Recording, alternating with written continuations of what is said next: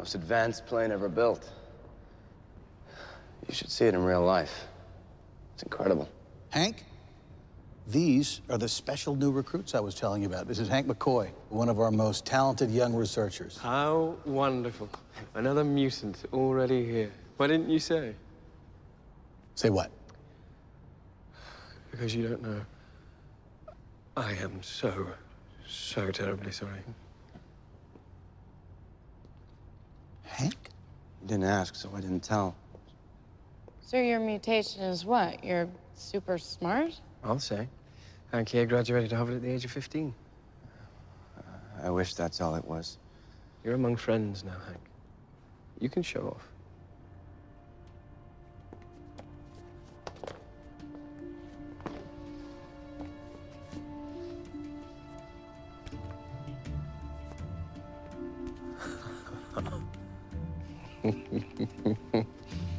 Splendid.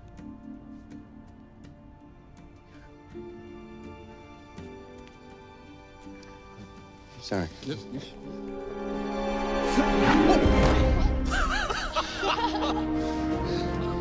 Ta-da.